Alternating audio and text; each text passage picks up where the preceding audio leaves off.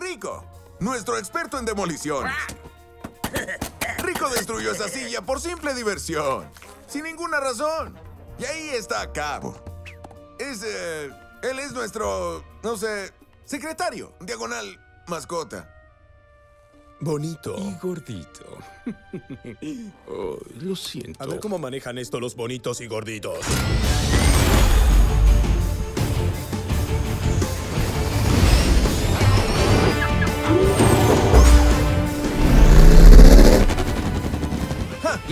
De mascotas.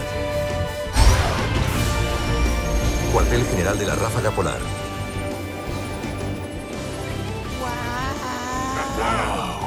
Miren esto. Vaya, vaya, vaya. No está nada mal esta posilga clasificado. Gracias. Ese no es mi nombre. Ada por la 17.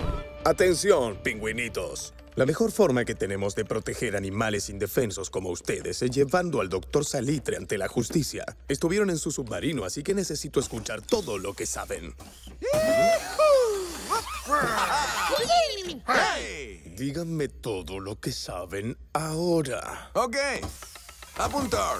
No confíes en un holandés en una pelea de tulipanes. Tulipanes. Canadá entrena en secreto un batallón de pies grandes. Pies Los perros calientes solo tienen un 17%, de 17%. perro.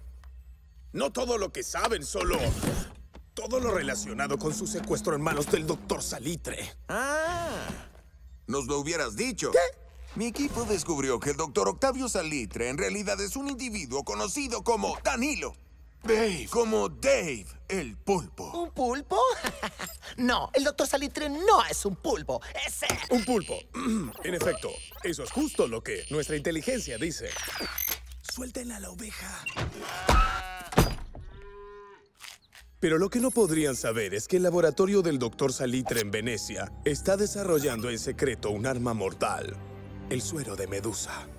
Ah, pero lo que ustedes ignoran es que Dimas, Dave. Dave, no va a usar su güero de merluza. Suero de medusa. Suero de medusa contra nadie. Esa parte es correcta. Muéstrales, Rico. Us- ¿Ustedes le quitaron el suero de Medusa? Le quitamos el suero, fuimos los héroes, hicimos su trabajo. Llámalo como quieras. Demian. Dave. Dave. Se infiltró en nuestro sistema. ¿Por qué no lo oigo? Este, Dave, que- tu micrófono es que no no está nada. encendido. Presiona el botón con el dibujo del Siempre que llama micrófono. un villano tiene que pasar esto. Hola. Hola. Ya te lo oímos, tolero. pero no te vemos. Siempre pasa. ¿Creen Es como hablar con mis padres. Todas las semanas es lo mismo. ¡Eso! Excelente. Ahora, ¿en qué estaba? Saludos, Ráfaga Polar. Veo que ya conocen a mis queridos compañeros. Nunca fuimos queridos. Nunca hubo amor. Entrégate, David. Estás desarmado ahora que te quité tu amado suero de ¿Eh? Medusa. ¿Tú? Tú no se lo quitaste. Se acabó. ¿Que se acabó? Entonces, ¿por qué estoy llamando? Raro. ¡Ah! Tal vez para mostrarles esto. Eso es demasiado. Suero para cuatro pingüinos. Ah, ¿creyeron que hacía todo esto solo por ustedes cuatro? No, no, no, no, no, no. Solo es el inicio. Ahora, si me disculpan, tengo que ir a hacer unas compras. ¡Para la venganza! ¿Cómo se...? ¿Cuál presionó? ¿Es el rojo? ¿O creí que era... que no es este? Alerta entrante. Muéstranosla.